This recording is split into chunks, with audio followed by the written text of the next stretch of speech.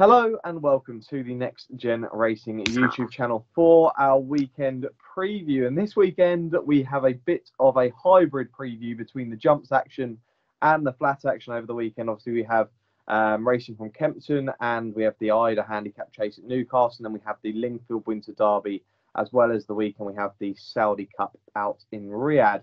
Um, as always, we are writers for the Racing Ahead magazine. There is still a link in the description where you can get a free digital copy of that. Do check that one out. Um, and we're only a week away from our Cheltenham preview night. This is going to be the official preview night that we're going to be doing.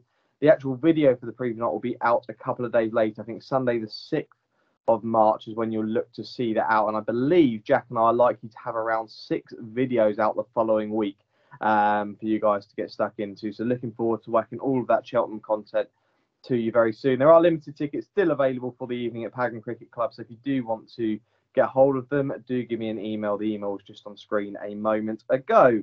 Jack, I bet you're looking forward to this weekend. Like I say, we've got a hybrid preview, a bit of flat, flat action, a bit of jumps action. Should be a good one. Yeah, it's a nice little teaser of a weekend, kind of building up t- towards the Cheltenham Festival. We kind of have a, a few li- decent little quality competitive battles going on, and of course, we get to see Lord North back in the Winter Derby. So yeah, quite excited. Yeah, it's going to be very interesting, and we'll get Jack's thoughts on the Winter Derby later on the preview. Now let's kick off, kick things off with Kempton, where we're going to be previewing three Grade Two races there, and it's the 150. This is the Adonis Juvenile Hurdle. It's a two-mile Grade Two, and Night Salute is your nine to four favourite for the Milton Harris team. Pleasant Man the unraced horse is 4 to 1. Impulsive 1 13 to 2. Mocha Davasi is 15 to 2. Greystone 9 to 1. Um, and double figures bar here. Now, Jack, I actually think that the, the favourite here, I think he's only got one horse to beat, in my opinion. That's Pleasant Man. Um, I think that the favourite, the one thing I found fascinating is that Impulsive One's in here. And, and when we did our ante-post preview, where I actually put this horse up for the Boodles handicap, um, I don't think the horse is actually going to the Boodles now. I believe the plan is to go to Aintree with this horse. So um, do check that one. I think he has been left in it though, so it'd be interesting to hear the thoughts. But I did mention that the fact that he had been beaten by Pleasant, uh, sorry, by Night Salute twice before, I wasn't sure that they'll probably look to take him on in something like a triumph. But look, they're coming here to take him on in the Grade Two contest. Like I say, he's been beaten twice by Night Salute um, in Pulse One, so I don't think he's going to have much of a chance here at all. Um, Porticello obviously has the form as well with Night Salute, who finished second behind um, nicely. I thought that Porticello looked really good the last day as well. Really, really good. And obviously, he's probably the leading contender at the moment for the British team going into the Triumph. Um, I just think that the, the, the horse who is second favourite here is very, very fascinating. He is short. He's four to one for all the done race in a decent Grade Two contest like this, taking on a horse who you know is a leading contender for the British team in the Triumph. But I just think that Pleasant Man, we're, we're relying on the form that we've seen on the flat, where this horse beat Pied Piper on his debut on the flat. Um, we know what Pied Piper has done since going hurdling and, and, and joined the jumps game, but he was also part of a very good handicap that Jack and I were actually there to see at Goodwood, um, where he was behind Nagano and Siskany in that race, where that looked a decent race, where Pied Piper kind of got a bit of a revenge and finished in front of him that day. Um, I'm going to say something quite, I don't know if this is controversial now, but if Pleasant Man were to go and win this race, I think the Irish should be slightly worried in the triumph because I think he's got to be very, very, very, very good to win this. I think the Night Salute is no mug himself. And I think if he were to go and do this comfortably, I think he's either going to do it comfortably or he's going to be beaten comprehensively. I really do. And if he does do this comfortably, I think that he's going to be a, a one of the tough nuts to crack potentially at the festival. Maybe they'll skip the festival. Maybe they're another horse that, that might go to Aintree. But I genuinely think if he beats Night Salute, I think Night Salute's no mug, and, and I think he'd um, he'd be a player. But Jack, look, I'm going to be with Night Salute. It's a favourite to kick things off, but he's probably the obvious one in here, isn't he? Yeah, hundred percent. Look, I was very keen to back Night Salute until I saw Pleasant Man. I mean, he's enough to kind of scare me away from the race. Um, obviously rated 95 on the flat, beat Pied Piper last time out. I've actually watched him twice in the last year because I saw the Melrose as well, oh, which right. he finished seventh in. So um, I mean, his his winner um, Yarmouth was was decent enough last time out, but yeah, he obviously coming from Roger Charlton's yard to, to Paul Nicholls. It's fair to say Paul Nicholls knows what to do with the juvenile when he needs to. So he's probably a little bit too short, about four to one. I don't know what you say about him winning easy. I think it's probably going to be a little bit of a battle up top between him and Night Salute.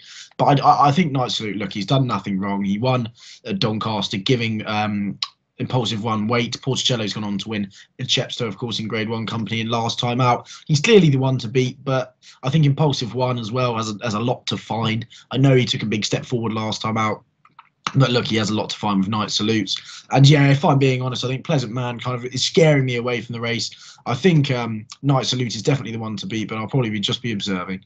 Okay, yeah, one to observe. I think, like, like Jack said, Night Salute is the one to beat. I do fancy Night Salute in here, but it's going to be fascinating to see how Pleasant Man gets on and if he were to go and win, to, to hear the thoughts of Paul Nicholls after the race and what the plan could be with him. Now, let's move on to the 225. That's the Pendle Novices Chase, and it's over two and a half miles, another grade two. Pic D'Orhy is your two to one favourite. Minella Drama is five to two. Fantastic Lady four. Uh, Manila's Bank is nine to two, and Goa Lil is thirty-three to one. Um, Jack, before I probably go and tip up another favourite here, I'll let you go first. Yeah, I'm actually a huge fan of Minella Drama. You know, um, I mean, on ratings, I know he's got a little bit to find with Pic D'Orhy, seven pound, but I'm just a little bit skeptical about Pic D'Orhy's jumping. I mean, he was not fluent uh, Sandown last time out when finishing third, and I know he, of course, he won uh, quite easily the time before beating Favour Ascot in, in that grade two. But for me, I think Minella Drama, Donald McCain, and Brian Hughes they're, on, they're an absolutely red hot form, and I mean, I was really impressed with how he handled the step up to two and a half miles. Of course, finished second behind my my Drogo in Grade One company over hurdles uh, last year over two and a half miles. But look, he was also giving weight away to to, Hardy Desoy that day, who finished a distant second. But I mean, he was a classy hurdler over two and a half. I think this step up and trip has really sorted him out, and hopefully he'll be able to come a, a classy um, chaser. I think this is a great opportunity to land another big pot. Yeah, it's going to be interesting. I do agree with you with regards to Pic D'Orhy, but I do like him in here. I think the last day at Sandown, we know how tough Sandown is as a jumping test. It is very difficult, but I think we're going to see a form boost potentially here to the mighty L'Homme Presse, who was look he he beat this horse, but I think it was around 27 lengths on the day. Um, and he was beaten by motionless Charlie Deutsch as well. And I just think that Pic D'Orhy at the front that day, he, he, was there were some that he put in some decent jumps, and occasionally he hit them, especially I think it was like the 13th. I think he hit pretty hard. Um, and it kind of ruined his chances, but he was never going to get to the fever that day. He was really impressive. I'm hoping that he goes on to win the Turners. Um, and then you mentioned the time before where he ran at ran at Ascot and beat Fauvoir.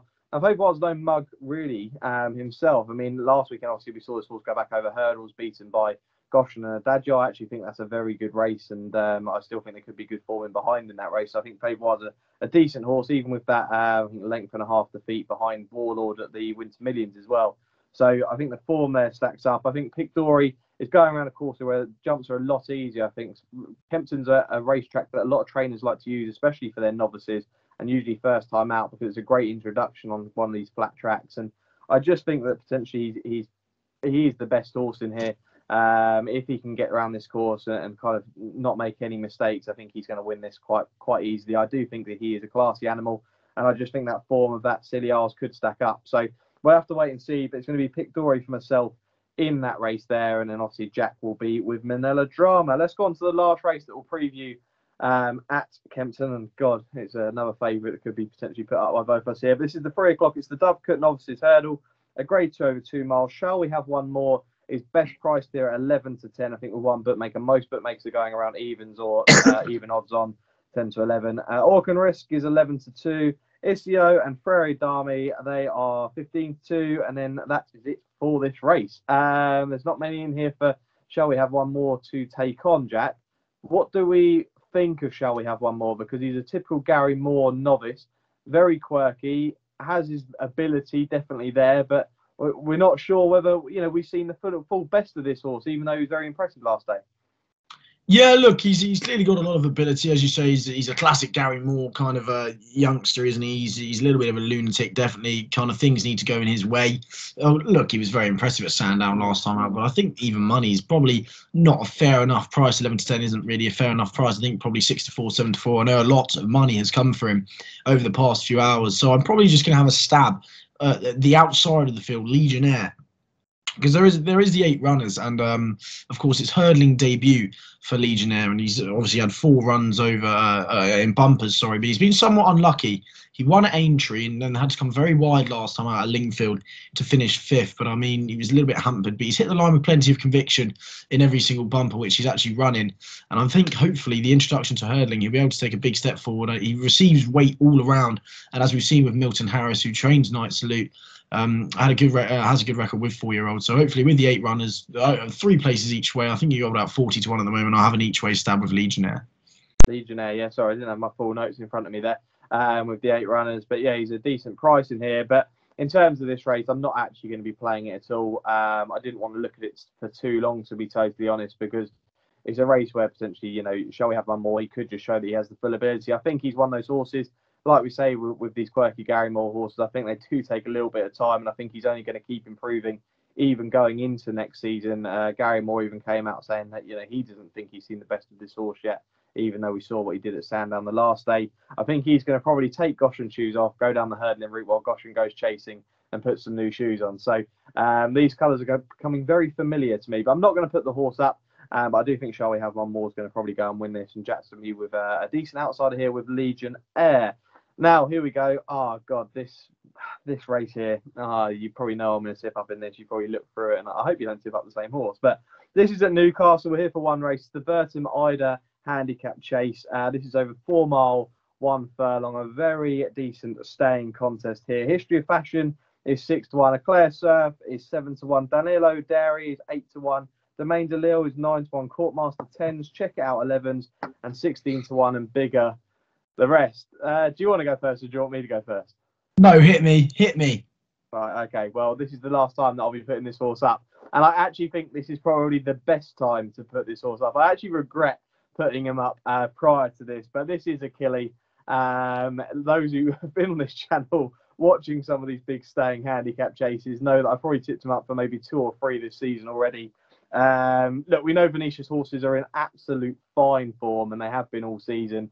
I'm a big fan of this yard. Look, Charlie Deutsch won't be aboard this day. Uh, Hugh Nugent's going to be taking the ride, and he's been claiming free on a horse who's now rated 135. Now, we know this is probably well, this is the, the longest distance he's gone since he ran in the Midlands National, um, where he was staying on. He, he was staying on stoutly, but just a little bit too late. I think the harder they go and the further they go, the better this horse seems to look. But look, he was rated one four two in the Midlands National, and he did put in a decent display. Um, and I'm hoping that I don't think the ground's gonna be no issue um, over at Newcastle. I just think that potentially he'll get out, he'll start jumping, and, and he'll just be staying on at the finish. It's just whether they've gone hard enough or whether he's staying on in time. But He's 18 to 1 in here. I really fancy his chances off 135, especially with the three pound claim. I think Hugh Nugent is very good for his three pounds. So, yeah, he's going to be my bet in here, and that's Achille for the Venetia Williams team, the beautiful grey. I love him. But, Jack, go on then. I can't believe what I'm about to do. I actually can't believe it. Uh, I'm also going to be with Achille. I can't, I, can't, I actually can't believe I'm doing it. Oh, I know. My God. You've seen the light. You have seen the light.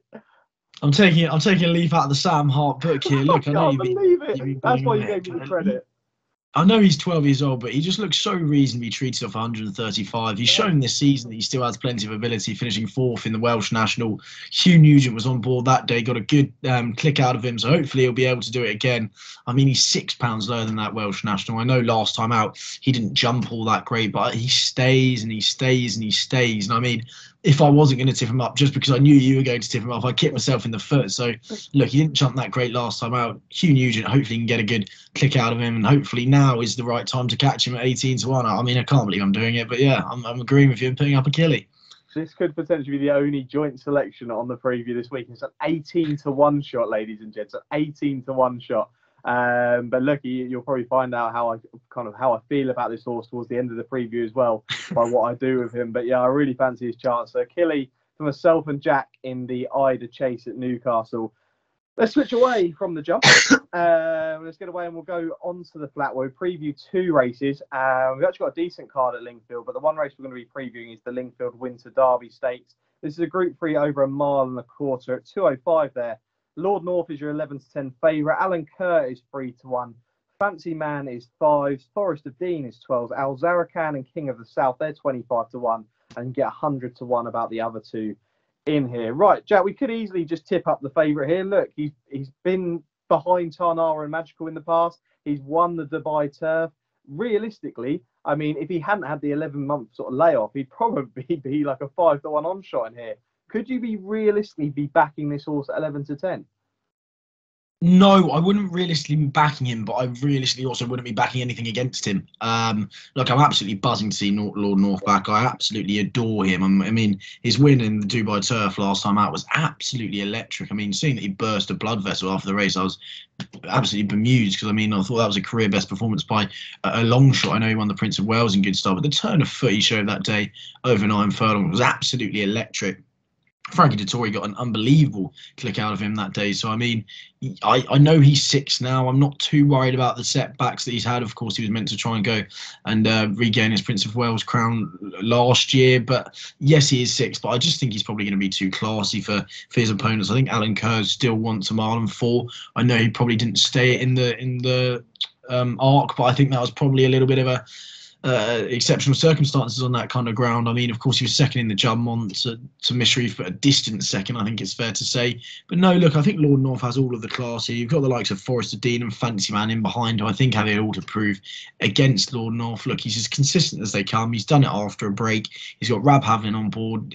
I think he's got a lot. I think they've got a lot to find on ratings. Like, yes, John and Thady Gosden aren't in the in the greatest of form, and neither is Rab Havlin. But I think Lord North, it'd be great to see him back to winning ways.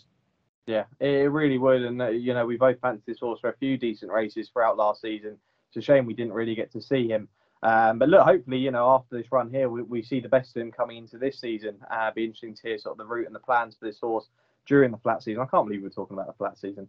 Um, but yeah, there's there is one horse in here who I think potentially, if, if, there is the without market on the day, it's not a race that I'd probably be going overly large on. But I do like the chances of Fancyman, um, who won the trial here uh, earlier in the month. He's actually won at Lingfield twice this season already. Um, I know he hasn't beaten too much, but look, this is a course where I do think horses tend to sort of you need a horse, a horse who can go round this course. And the one thing I like about Lingfield is that massive slingshot um, that they have when they come around the bend, and when they pull out wide, and you suddenly see a horse flying from the back. Fancy Man looks like one of those horses that seems to relish it, um, and I can see him flying home late. Whether it's good enough to catch Lord North, I wouldn't know, but you know I do think that potentially if there is a without market, he's a fair price for it. I think he could be a small little bet in this race. But look, we, we, we all hope Lord North does come back. I agree with Jack. Alenquer probably is going to need the mile four, and we'll probably see that over this season, especially the fact that he's matured and he's a year older. So we'll have to wait and see. It's a really fascinating race, but a, a nice little uh, card there at Lingfield for the Winter Derby. Let's go on some international action now. We go to Riyadh for the Saudi Cup, a Group One out there. This is on the dirt over a mile and one furlong. And last year's winner is in here, and your favourite is Mishriff for the Gosden team. He's 9 to 4. Mandaloun is 9 to 2. T.O. Keynes is 7 to 1. Art Collection 8 to 1. Midnight Bourbon's 10 to 1. 12 to 1 and bigger. The rest in here. Now, last year's winner, Jack Mishriff, uh, he beat two time Grade 1 winner uh, Charlatan. He also beat the Pegasus second and multiple Grade 1 winner Knicks Go in that race. Uh, this year, I mean, in terms of if you look at the second favourite, his most impressive performance has come in the, I think it was at the Hill, uh, sorry, the Haskell Stakes, was it, where he won by 18 and a half lengths? Um, yeah. I think that's the, the performance that was mesmerising, especially around an American track to win by that distance in a grade one like that was very, very impressive. But I personally, Jack, I just think that I don't know. I, I think that Mishriff has potentially got an easier race this year. It's just whether he can bounce back from sort of, you know, the, the mishappenings that happened at the end of last season where he kind of didn't perform to his usual level. But I think if Gosden's got him right back on the dirt, I don't think 9 to 4 is that bad a price. Yeah, well, um, uh, just quickly on Mandaloun. I mean, the, the, Haskell Stakes, of course, Hot Rod Charlie actually was uh, won the race, and it was just um, uh, Mandaloun was 18 lengths ahead of the, the third on the day. Hot Rod Charlie was disqualified after the race. So, um, yeah, Mystery, it'd be great to see him do the business yet again, but I just think he's probably a little bit vulnerable this year. I'm, I'm, I'm a huge fan of Mandaloun. I was before the Kentucky Derby, and I, I, still think he has plenty of ability to, to throw down the gauntlet to Mystery here. And I mean, he's got a recent run under his belt in the Louisiana Stakes, which it was kind of a bit workmanlike. It was nothing too impressive whatsoever. But I mean, he's only been beaten by Hot Rod, Hot Rod Charlie and Medina Spirit uh, in, in, the last year, and of course they were both disqualified that, uh, on those occasions. So I think nine furlongs on this surface could really play into his hands. It's going to be nice and sharp. It's going to be rapid pace as we've seen. I know Mishriff's as versatile as anything. I think probably as he's got a little bit older, he probably wants a tiny bit further, and perhaps the turn of foot quite isn't there. I know in the Judd one, of course, he was electric. But then Ascot last time out, he wasn't so much. I think this is going to be a bit sharp for for Sealiway, who of course is 12 to one. We of course had, a, had the brilliant day with Sealiway in the Champion Stakes, which was rated I think in the top five flat races of, the year last year. So it'll be interesting to see what kind of tune Ryan Moore can get out of him. I think it's probably going to be a little bit sh- sharp for Francois uh, Francis Graffard's horse though, and I do think Mandaloun at seven to two. I think is a, a relatively fair price. Of course, we don't really like the backing the international runners all that often, but I think Mandaloun may have a great chance here. Yeah, it's not an easy one for myself and Jack, who we're not, you know, avid, avid fans of the dirt racing, but this is a group one that we wanted to preview. The one horse I did want to mention that you've already mentioned was Sealiway. I'm not going to be putting this horse up, but it's fascinating to see because obviously this horse is now with Francis Graffard, who's a very, very good trainer in himself. Ryan Moore takes the ride here, which I do find fascinating. Um, interesting to see him get the ride over a French jockey in here. Um, I just think that potentially he could he could be a shock in here. That if he takes the dirt, he could come out um, and could look like the shock. I think Real World's also fascinating in here. Um, horse I think is going to take a massive step forward this season, even further, and potentially sort of step up right into the Group One class. We'll be discussing that in a few months, well, probably in a month's time, where we do a, a flat season ante-post video. We'll be looking at horses to follow for the season, but I do think it's a really interesting contest. I, I just think Mishriff's the one to beat. I, I think that this is a an easier race than he had last year personally. Um, and I think that 94 is a, a, fair price about him. But look, it's going to be a, a, hell of a race. It's a really decent card out there at Saudi. Always look forward to it. There's a lot of racing. They'll probably be switching from different screens constantly on Saturday for the flat and jumps action. But a really interesting one. But Jack with Mandaloun at 7 2, and I'll have a, do you know, I'll have a small stake on Sealiway each way potentially for a little bit of a shock because I can't leave him alone. I can't. Uh, we had such a day of him on, on Champions Day. So I'll tell you what, if we had Goshen and Adagio running this weekend, it'd be the, the Sam Hart preview where we just have every horse that Sam Hart likes is running. But um, yeah, it's not going to be. but I still can't believe it. I am still in shock after killing. I'm looking at my notes going, God, like I, I can barely see them. I'm, don't, don't believe oh, it. Right. Sorry, I'll just apologise. We have a little bit of a special tip coming up now because this was actually requested in the comments, and someone said, I've been waiting for you guys to put up a Lincoln tip. Now, I was discussing with Jack about probably about a week before that comment came in saying, I've got something for the Lincoln. Um, and the comment was asking for a haggis special. Now, this isn't a haggis special, this is a David O'Meara special for the race. And this horse is currently 33 to 1. I really hope he does run here because I can't see him going off this price of the day. But the horse's name is Darkness for the team. Uh, David O'Meara's record in this race, we go out to last year, he had the third and the fifth. Obviously, 2020 it wasn't run.